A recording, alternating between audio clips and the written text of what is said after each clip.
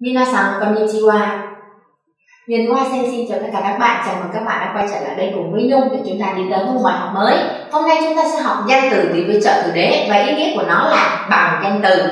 Ở đây danh từ sẽ là phương tiện. Như ở trên hình chúng ta đang thấy một phương tiện gì đấy?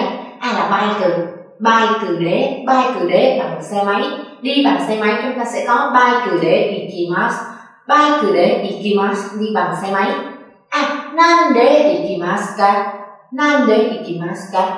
Hikoki de ikimasu đi bằng máy bay Hikoki de ikimasu Nan de ikimasu ka Fune de ikimasu đi bằng à đi bằng thuyền, đi bằng tàu thủy.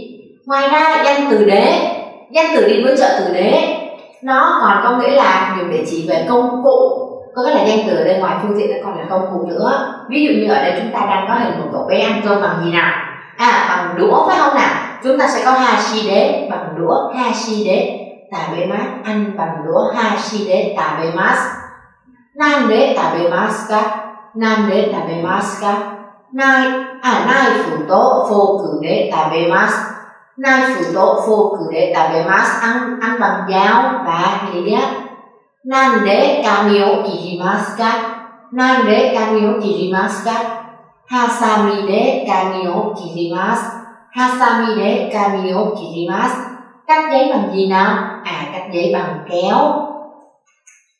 Cảm ơn các bạn đã tham gia buổi học ngày hôm nay cùng với Nhung. Các bạn nhớ làm thêm bài tập để chúng ta có thể phân biệt được trợ từ đế, những công cụ và phương tiện nha. Hẹn minasan sayonara, tai maso